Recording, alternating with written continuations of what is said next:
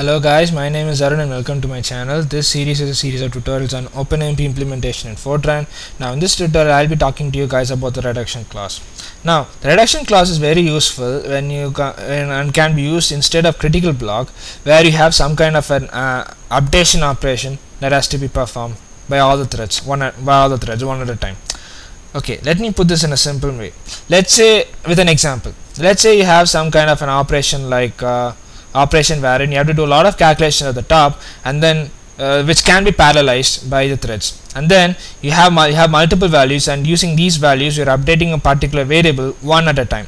Okay? Either by addition or by multiplication or by subtraction whatever it may be.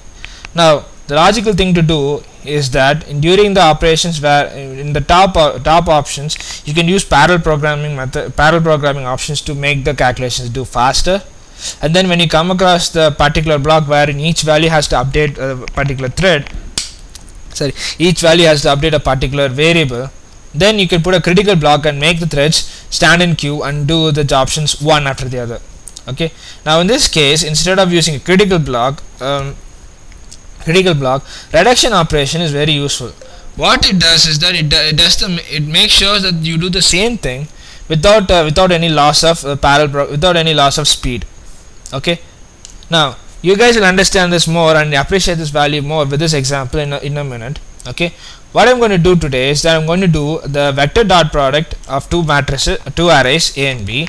And at the same time I'm going to do a summation operation for a for an array A in this in this program. I'm going to do this serially and I'm using the intrinsic function as well uh, intrinsic function as well now I'm creating I'm creating a four threads and I'm setting some upper value uh, for n whose and this n is used for setting the mat, uh, arrays size of arrays a and b.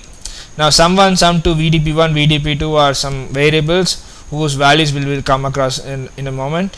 Uh, we all set this to 0 I'm initializing a and b to a and b to value to you know, to some values.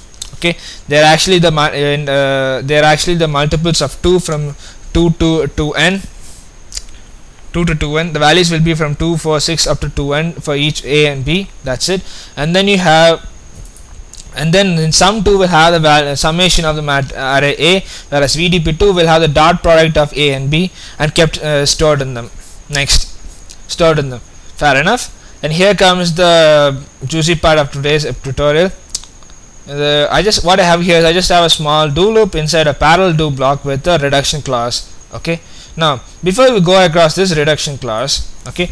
Now and we before we deal with this let me just compile and build and execute this program serially. Now if you execute this this is quite obvious. Because of this do loop the sum value is going to get updated by the each and every indice value each and every indice value of uh, array a, a1 array a and similarly VDP will have the will be updated in each turn by the product of A A1 and B1 A2 and B2 A3 and B3 so on and so forth. So ultimately yeah, sum1 will have the you know variable sum1 will have the summation of A whereas VDP will have the vector dot product of A and B. So if you look at it the parallel sum and the serial sum for in these cases since they are actually the same in this case they are actually the same the VDP the parallel VDP and the serial VDP are the same simple enough nothing straight nothing complicated okay? Now let's look at this in the parallel programming mode. Now in the parallel programming mode let's just put this put this OpenMP OMP parallel do over here. Now ignore this critical ignore this critical block for now just look at this. We just have this particular loop. Now because of this is a parallel do loop and as a condition all the threads will be active and we just split tearing this loop apart and doing one iteration as per the choice okay? Now sum1 is actually shared and some VDP1 is actually shared by all the threads. And as a condition race and as a condition race condition will occur they'll just mess up all the values. Uh, so as a condition so as a consequence if you look at run this shell script over here you can, clearly see during execution the values are not the same. Values are not the same. So sometimes in some mirac uh, no matter how many times you run you'll get you'll get different different answers but in some miraculous turn of events you might get the same uh, you might get the matching answer for the summation and the vector dot product. Okay? Like this case here. Okay? Now this is not the right thing to do. The answers are getting spoiled up because of race condition. Now what can be done if sum1 and VDP are kept private that's actually the dumbest thing to do because uh, if you keep them as private the calculation will go ahead without any race condition. And at the end of the day based on how many threads you have yes uh, so you have n number of n copies uh, n copies of sum1 and VDP1 and then you have to add up all those sum1 and VDP1 separately uh, which is like uh, you know you don't even need that honestly. You don't even need that honestly. Okay? Another way to another way I mean in that case which I mean you just loop out loop loop out of this which sum1 value and which some VDP value should be used. There are four threads over here so you have four values. Which thread, which value to be used? You just don't know. Okay? In this case if you use something like first private or last private or something like that then it's going to absolutely spoil absolutely spoil the calculation. So private value having private values is not a good thing.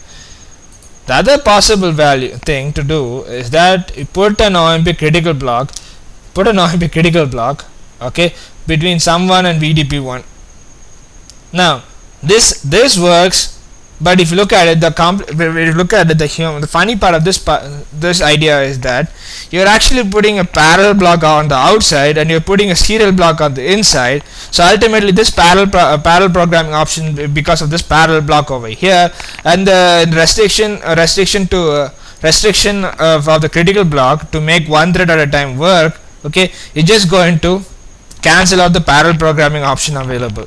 Suppose if we have lot more options on the top and in the uh, lot more options on the top this is kind of like a uh, it may look like an ideal choice to do but for this example this is the this is clearly not the this is clearly not the best idea to do.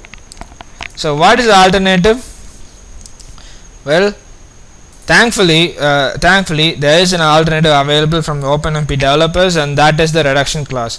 Now, what this reduction clause does is that it makes it, uh, you know, uh, it makes sure that the variables that we listed in the inside the class are available for that particular operation, depending on the case. Okay, here what this sum1 and some VDP1 they're going to be in, uh, incremented. You incremented the values will be updated using some addition operation so what you have to do is that you just have to write reduction. You put plus sign indicating that the, these variables will be uh, incre or incremented or updated using an addition operation. So this is the operation you have to involve. So it's plus. You put a colon and then uh, and then list out all the variables. List out all the variables that uh, that will be that for which you know this reduction operation has to happen. As a consequence if you put this what happens is that if you have any pa parallel operations occurring on the top. They will do just fine. And when whenever one particular thread finishes a parallel uh, operation those values gets kind of queued up. Those values kind of queued up in an optimized manner for the sum1 and VDP1 and based on whatever operation you do whatever whatever operation you do they get they get merged up in that merged up in that way. Merged up in that way. Okay so here that here we need here we need addition operation so we just put a plus and that's about it. Suppose if you suppose if you're going to do something like a consecutive multiplication or consecutive subtraction or a consecutive division or consecutive modulus what you have to do is that in this case just put uh, just put the according sim appropriate symbol. For instance if you want a consecutive subtraction just put a minus sign and uh, without forgetting it just put a minus sign over here and a minus sign over here in, in case if you do something like a consecutive multiplication let's say put the multipli multiplication symbol and then put a multiplication symbol put a multiplication symbol over here as well and proceed with this. So this reduction operation is available for several operators in Fortran namely the addition subtraction multiplication. I'm not sure whether it's available for division uh, anyway yeah this is available for AND operation or uh, equivalent operation not equivalent operation. Okay? And uh, it's also available for some intrinsic uh, functions simple intrinsic functions like maximum and minimum functions. Okay? So all you have to do is that you just have to list out the operator or the function intrinsic function over here and then click and then give a colon and then list out the variables the which on whom on on on which these operations have to do so we are doing now let's getting back to the example. If we, we are going to add up all this add up all this. So uh, with the reduction blocks if I look, run it no matter how many times I run the results are perfect. Okay? And there you have it. And that's how we that's our that's our simple demonstration of how to use a reduction clause now that's all I have for you guys in this tutorial. Thank you guys for watching and I'll come up with another tutorial in the future on, a, on another topic. So till then take care